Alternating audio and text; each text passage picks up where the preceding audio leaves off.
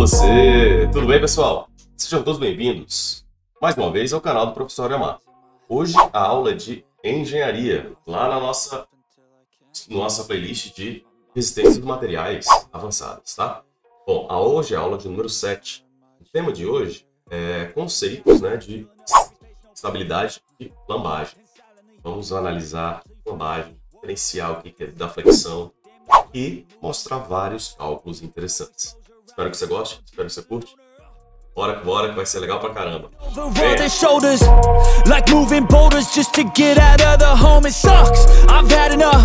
I don't wanna feel the stuck under the rug. All my problems É that I isso aí, meu povo. Bora, bora, bora, bora pra aula. Aula número 7, hein? A playlist tá crescendo pra caramba. Hoje é conceitos de estabilidade e flambagem. Professor Elmar. Vamos lá. Seguinte.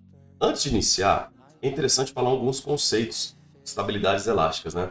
Então, assim, os elementos estruturais de uma construção devem ser selecionados de acordo com resistência, que é a capacidade de suportar o carregamento sem tensões excessivas, rigidez, capacidade de suportar o carregamento sem deformação excessiva, e estabilidade, capacidade de suportar o carregamento sem mudar seu estado inicial de equilíbrio.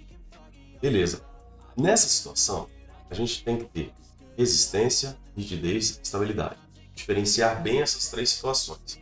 Quanto à flambagem, quando a gente fala de flambagem, é necessário entender o seguinte: flambagem é a deflexão lateral com elementos compridos e esbeltos. Pô, falando de esbelto, o que seria esbelto? Esbelto seria alguma coisa magra, né? Magra. Então, a esbeltez tem uma relação direta com a flambagem, tudo bem? Bom, outro detalhe é que que a gente tem essa figurinha onde mostra exatamente uma coluna, né, em formato ela aqui reta, com uma carga sobre ela. Essa carga vai fazer esta flambagem. Diferente da flexão, que eu teria aqui, nessa direção, que seria para ter uma flexão, não é verdade? Bom, continuando, um elemento sob compressão, com elevada esbeltez, pode se deformar lateralmente falhar por flambagem, ao invés de falhar diretamente por compressão do material. Então, em projetos estrutural, ambos os elementos da falha devem ser considerados. Bom, eu vou trazer para você um gráfico aqui para verificar exatamente esses conceitos da estabilidade e resistência, tá bom? Olha só, temos esse gráfico, vou analisar todo esse gráfico. Observe que aqui eu tenho quase uma linha reta, que eu tenho uma linha reta, né, praticamente reta. Depois eu tenho algumas curvas, algumas deformações, algumas perturbações. Nessa situação, esta linha reta tá, faz parte desta pequena fase aqui, eu posso considerar como fase elástica, onde a fase elástica é essa outra, a região plástica, que é a fase plástica. Então vamos analisar. Fase elástica é corpo consegue voltar ao seu tamanho original, ou seja, se ele é elástico, existe uma elasticidade onde ele vai, ele pode é, esticar e voltar ao seu estado de origem. Já quando chega nessa região plástica, não ocorre esse, esse, esse fato. Ele deformou, ele vai permanecer deformado. Além disso, podemos ver ainda neste gráfico os seguintes termos. Ó. Esse ponto verde aqui é considerado limite elástico, onde ele também pode ser considerado escoamento, ou seja, no escoamento o corpo se deforma mesmo sem adição de carga. Então, observe que ele era uma linha reta, uma linha reta, né? linha reta, exatamente onde não há mais mudança de tensão e ele teve o momento limite, né? o limite elástico dele. Portanto, existe um escoamento. Já essa parte azul aqui é o encruamento.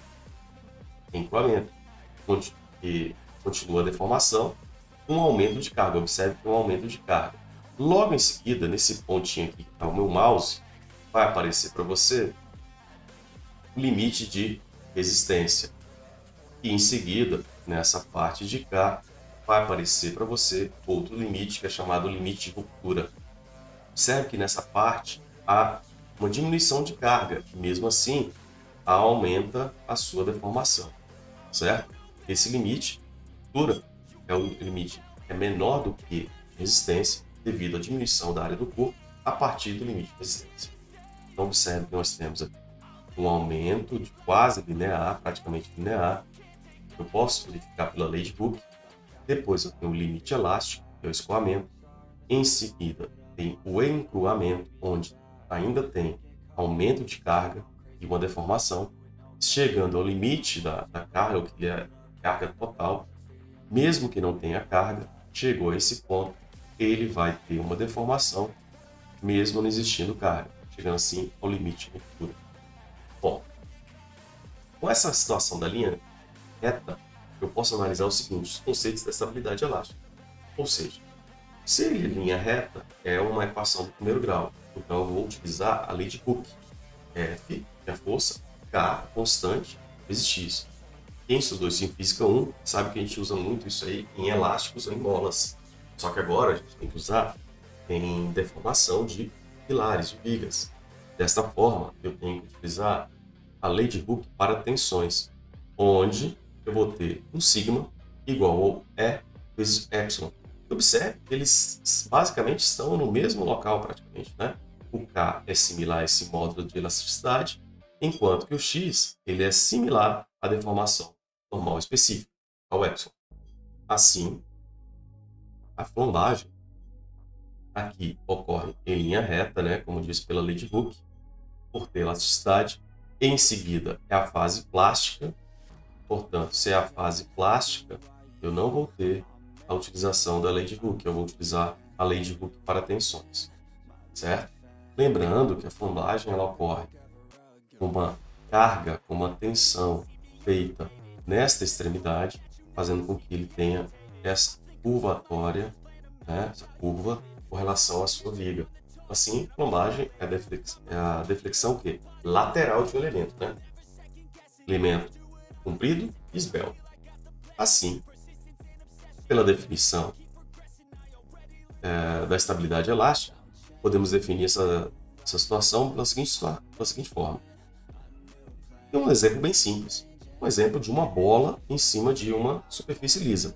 Se você coloca uma bola em superfície lisa, ela pode ficar em equilíbrio, pode ficar neutro, pode ficar instável.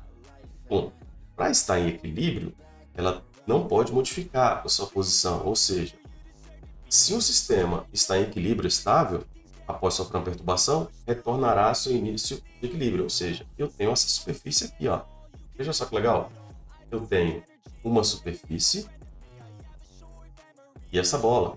Mesmo que eu modifique essa bola para cá, ela vai retornar ao seu estado inicial de equilíbrio, que seria um, um equilíbrio neutro. Um equilíbrio neutro, um sistema que após sofrer uma perturbação vai se manter onde foi deixado essa situação. Se eu deixar esse camarada aqui, ele vai se manter aqui. Se eu deixar ele no meio, vai se manter no meio. Se eu deixar na ponta, vai deixar na ponta, porque ele está em equilíbrio neutro. Por último, é o equilíbrio estável instável, após sofrer uma perturbação, não voltará ao seu estado de início. Ou seja, qualquer lugar que eu colocar essa bola, ele não vai retornar ao seu estágio inicial e muito menos vai ter uma posição neutra, certo? Bom, como a gente estava falando de molas, a gente pode analisar essas molas aqui, ó. Deixa eu ver essas molas. Eu tenho, primeiro tipo, uma mola de tensão, Olha o movimento dela, mola de tensão, uma mola de tração e em seguida uma mola de torção. Consegue ver a diferença entre esses aí? É importantíssimo ver essa diferença para a gente poder analisar todos os detalhes, tá bom? Bom, feitas essas análises, fez a diferenciação entre as molas, eu vou trazer uma definição aqui mais apurada, mais calma. Vem comigo, ó. Bora lá.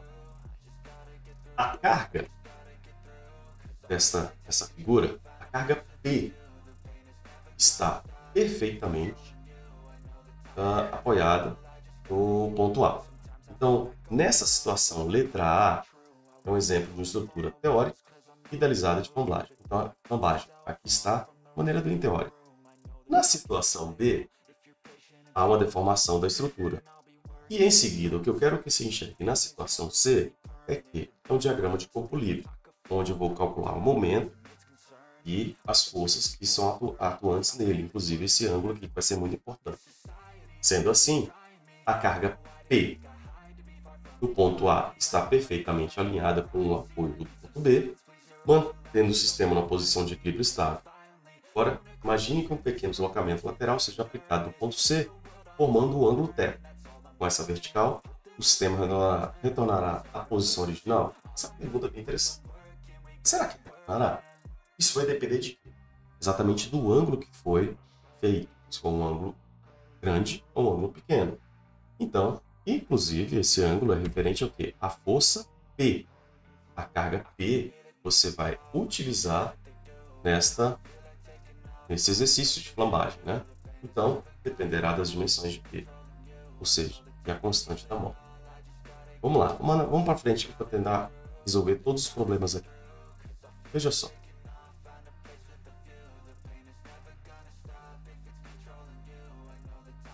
Aqui eu tenho Px, P, consequentemente eu vou ter o Py, e aqui eu vou ter o Py novamente.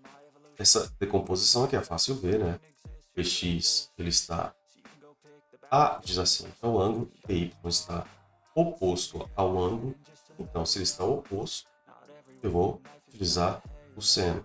Se ele está adjacente, eu uso o cosseno. Sendo assim, vamos analisar aqui uns detalhes. Vem comigo. Ainda com esse mesmo gráfico, para verificar se o sistema é estável ou instável, vamos considerar as forças agindo no trecho AC. Ó, trecho A até C. Eu quero que você olhe bem isso aqui.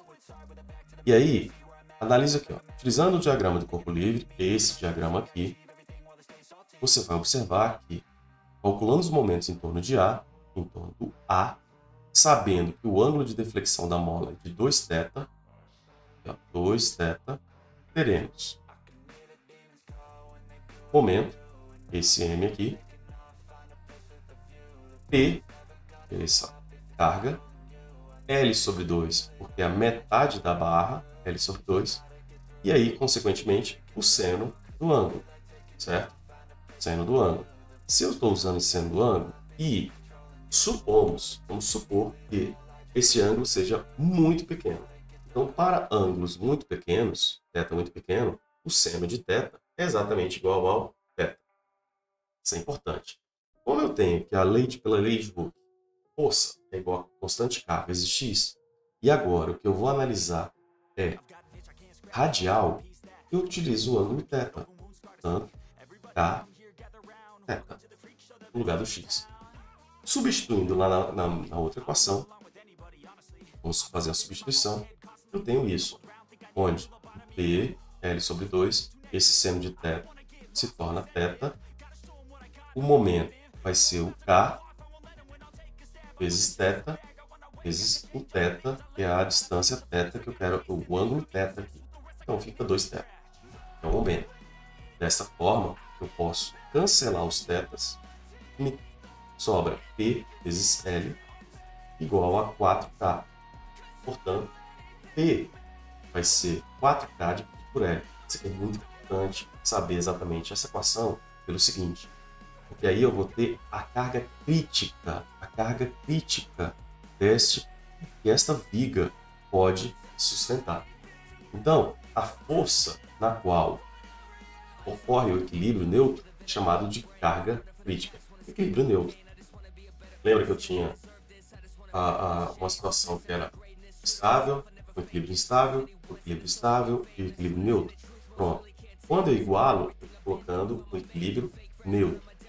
Beleza? Com esta equação, 4K sobre L. Então, carga crítica, com essa equação de 4K sobre L, eu posso ver a partir da análise possível concluir que essa carga crítica é o único valor de carga em que a estrutura está lá em equilíbrio após sofrer uma perturbação. Dessa forma, existem três estados, né? Equilíbrio estável, instável e neutro. Então, eu vou trazer esse gráfico para você, e aí você vai observar o seguinte: carga crítica, equilíbrio estável. equilíbrio neutro, o máximo do crítico, acima do crítico, equilíbrio instável. Portanto, para ser um equilíbrio estável, eu vou colocar esse P menor do que 4K sobre L, porque 4K sobre L é a minha carga crítica. E aí eu tenho um equilíbrio estável. Equilíbrio neutro, P é igual, é, é estável, né? Desculpa, estável, é maior que 4K sobre L, ou seja, está nessa região aqui, equilíbrio instável. Se ele for igual, aí sim é um equilíbrio neutro. Simples, né? Para frente.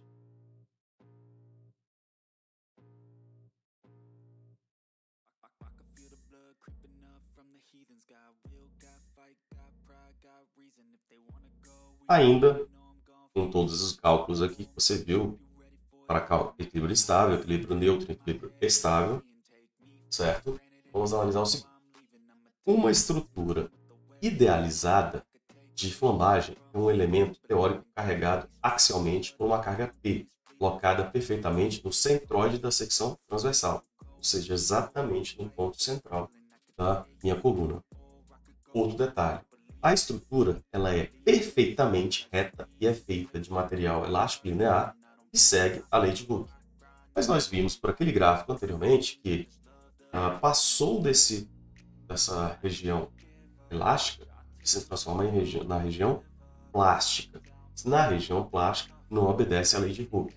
Então, essa estrutura, hipoteticamente difícil, ser reproduzida na prática, pois as cargas geralmente não são centradas, existem diversas falhas construtivas, pode fazer a estrutura ter imperfeição, você pode ter uma coluna com algumas imperfeições, e os materiais aplicados na sua construção, como aço, madeira, concreto, não seguem completamente a lei de Hooke. Então, isso é um cuidado que a gente tem que ter, tá? Mas, isso aqui faz você tem que fazer o quê? Você calculou o ponto crítico neutro, a carga crítica para equilíbrio neutro, o que, é aconselhável? Você ter uma margem de segurança, ou seja, se você calculou um valor de mil, dependendo do que você fazer, é claro, vamos supor que você vai fazer uma barragem. Uma barragem é algo extremamente importante que não tenha nenhum rompimento. Então, faça com um, um valor de duas vezes acima dessa carga crítica. Ou seja, faça um cálculo para que seja um valor pela metade. Coloque o seu P como se fosse a metade do ponto crítico. Professor, eu estou montando aqui um prédio, dois pavimentos. Será que eu tenho que fazer metade? Não, aí você pode fazer um pouco a menos. Isso aí vai depender do que você vai utilizar aquele, aquele prédio, para qual motivo, mas geralmente os livros utilizam uma margem de erro de em torno de 10 a 15%. Certo? Dependendo exatamente do que você vai fazer. Vamos só cuidado com esses detalhes. Vamos à frente? Olha só. Vamos agora para o método de equilíbrio. O que, você tem aqui? Você tem uma coluna rígida, como se fosse uma mola, torção com rigidez K, a base, e aplicando uma carga P, a coluna pode apenas sofrer rotação tendo, portanto, apenas um grau de liberdade. Fato. Só vai ter um grau de liberdade. E ali eu vou ter como se fosse uma mola de torção. Assim, se eu verificar os momentos agindo em torno do ponto A, considerando que o ângulo de rotação θ é pequeno, e sabendo que o momento de resultante da mola é K vezes θ, teremos o seguinte. P igual a L seno de θ igual a K vezes θ. Na verdade, esse K vezes θ é um momento de A. Momento de A. Juntando essas equações, eu tenho que P vezes L vezes θ, porque seno de θ é praticamente θ, igual a K, que é a constante de rigidez dessa mola, multiplicado pelo ângulo θ. Posso eliminar os θs, me sobra P igual a K sobre L, ou P vezes L é igual a K. Beleza. O que, eu consigo com isso? Mostro o equilíbrio estável, equilíbrio instável e equilíbrio neutro. O equilíbrio estável é quando esse PL é menor do que K. equilíbrio instável é quando for maior do que K. E quando for neutro, é igual a K. E aí, a força associada a um sistema neutro é a carga crítica designada por PCR. Portanto, para um sistema considerado, considerado a carga crítica de flambagem, é dada por carga crítica, PCR, é igual a K, que é a constante de porção de rigidez da mola, ou da sua viga, dividido pelo comprimento da viga. Lembrando que aqui eu só tenho um grau de liberdade. Perfeito? Muito bem. Agora a gente vai fazer o seguinte. Vou fazer um pequeno exemplo aqui, ó. Um exemplo bem simples, bem interessante. É o seguinte. Você foi convidado para fazer uma avaliação de viabilidade e reforma da biblioteca da sua antiga escola. Você inicia sua análise pelos pilares P5 e P6, pois sabe que o aumento de cargas devido à mudança dos livros para o andar superior poderá causar uma alteração da estabilidade da estrutura. Indagado pelo arquiteto responsável pelo projeto, você deve responder a seguintes questionamentos. Primeiro, letra A. Qual o estado de equilíbrio atual da estrutura e como esse equilíbrio pode se alterar caso os livros sejam removidos para o andar superior? Então, eu tenho que fazer o seguinte. Qual vai ser... Será que vai ter uma flambagem nessa, coluna com 3 metros? Eu tenho que calcular o K, analisar esses detalhes. Considerando que o pilar P5, esse que aparece na sua figura, é uma barra rígida, conforme a figura, e calcule qual é a carga crítica que ele pode resistir, considerando que a mola fictícia de torção, que eu tenho lá embaixo, tem um K igual a 4,5 vezes 10 a sextas Newton por metro. Beleza. Letra C. Com a mudança dos livros para andar superior, causará um aumento de carga total no pilar. Anteriormente, eu tinha 1.100 kN. Em aproximadamente 50%, nessas condições o pilar se manterá estável? Essa é a pergunta. E por último, caso não seja 50%, qual deverá ser o aumento de carga máxima que poderá ser aplicada sobre o pilar? Então, vamos às atividades aqui, como resolução deles. Ó. Primeiro, utilizando o método de equilíbrio, sabendo que a configuração do pilar P5, a carga crítica do flambagem é K sobre L. Beleza? Eu só tenho aqui um, somente uma cooptação, somente uma situação de movimento. Assim, eu posso calcular por isso, e aí, substituindo o L igual a 3 e o K 4,5 vezes 10 a sexta, eu vou ter uma carga crítica de 1.500 kilonewtons metro. Beleza? 1.500 kilonewtons metros. Bom, se eu tenho 1.500 kilonewtons metros, uh, é o mesmo que dizer que anteriormente a carga crítica do pilar era 1.100, foi dada anteriormente. 1.100.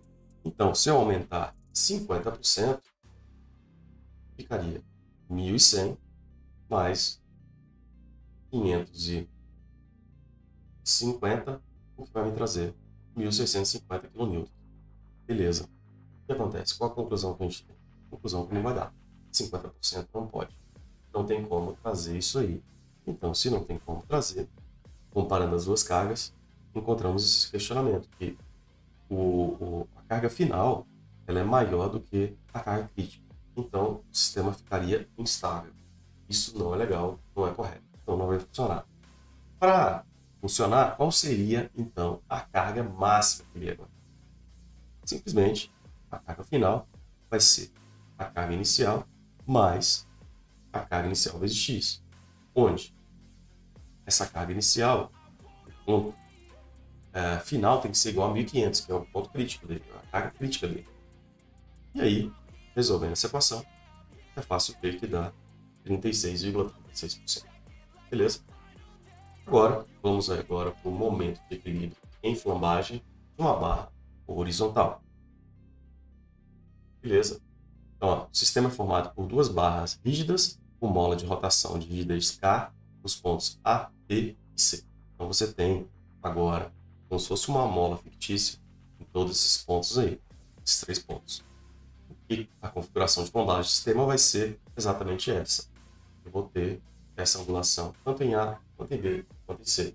E eu posso fazer um diagrama de corpo livre. Tem aqui. E esse diagrama é, é exatamente esse corte aqui no ponto C, no ponto B. Eu tenho esse ângulo, eu tenho esse ângulo aqui, ó, referente ao ponto C. Portanto, podemos simplificar isso fazendo o somatório dos momentos no ponto C. Vamos lá, somatório dos momentos do ponto C tem que ser igual a zero, claro. Porque ele vai estar, vou, a tendência é achar o equilíbrio. Então, momento de C mais momento de B menos P vezes o θ vezes L sobre 2, que é o comprimento pela metade. Assim, vamos ter 2K θ mais K vezes θ igual a P θ L sobre 2. Podemos eliminar os θs. E aí eu tenho 3K igual a P L sobre 2. Portanto, 3 vezes 2, 6K sobre L. E aí a equação já muda. Já modificou toda a equação. E nós vamos ter, então, ponto crítico para esta situação. Lombagem barra horizontal é de 6K sobre L. Beleza? É isso aí que eu tinha pensado para vocês. Espero que vocês tenham aprendido, espero que vocês tenham compreendido todo o processo. Aqui, ó, existe também. Vamos ver a aula de número, número 8, que essa aqui é a aula 6. Na aula de número 8, vamos ter o seguinte assunto. Lambagem, viga e articulada. Você vai curtir, acho que vai gostar. Continue no canal, aprenda, refaça todos os exemplos, inclusive faça sua leitura constantemente. Um grande abraço a todos. Fique com Deus.